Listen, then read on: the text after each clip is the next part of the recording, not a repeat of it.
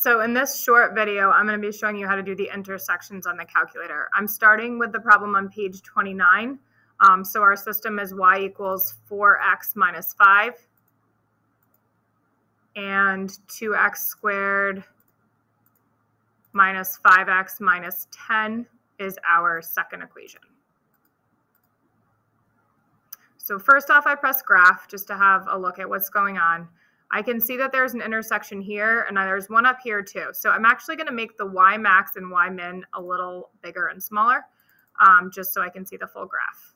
15 might be fine. Um, actually, I can tell it's fine by the answers we already got algebraically, um, but I'm going to do 20 just so I can see it a little better. So the process for getting the intersection is similar to zeros and maximum and minimums. Um, you need to go to the second trace, which is calc menu, and choose number five.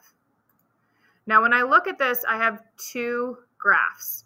So the first thing I want to do is pick my graphs. It says first curve. I look at my cursor. It's on the line. So I press enter. It jumps down to the parabola. Yes, I do want to intersect the parabola. So I press enter again. And then I just move it to my guess and I press enter. When I see the word intersection, that tells me I have found the intersection. So if you look at your packet, one of the answers was indeed negative one half negative 7. So that's one of the intersections. Now, a little bit more about that first curve, second curve. If I put some other equations on here, like if I added a third one, and I go to second trace intersect, my calculator won't know which two of these three lines it wants to intersect. Um, so I have to make sure, like if I want to intersect the black and the red one, then I have to press up choose the black one, and choose the red one as my second curve. Now that's never a problem for us really because we only usually graph two things at a time. So if you just press enter, enter on first curve, second curve, you'll be fine.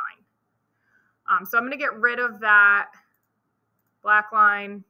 Sometimes people need to know what those are, and I understand that because I'd probably be the same way. So that's what those questions are about.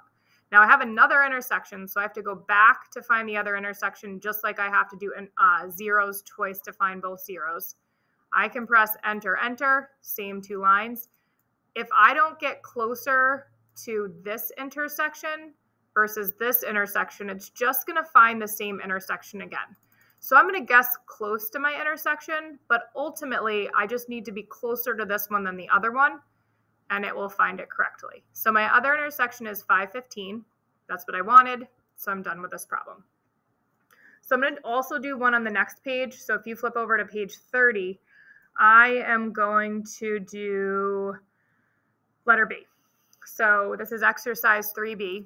This was where we started out with the equation 2 to the x equals negative 3x um, plus 8. So I'm going to graph 2 to the x I'm going to do negative 3x plus 8 as my second one. Remember, we graphed both sides of that one variable equation. Um, I'm going to go back to Zoom 6 because I messed with my window last time, and this will bring me back to the normal window. Now, looking at this, if the red line went this way, I could have two answers, but I can see that with the shape of these graphs, there's only one answer. The window looks good. I can see the intersection. So I'm going to go to second calc, intersect. Remember, it doesn't matter with first curve and second curve as long as you only have two y equals, enter, enter. Guess actually doesn't matter here either because there's only one spot to find. So this is 1.6 comma 3.1, which is what we found in the other video that doesn't show the calculator. Remember, this equation does not have y's to start out, so the answer is just 1.6 to the nearest tenth.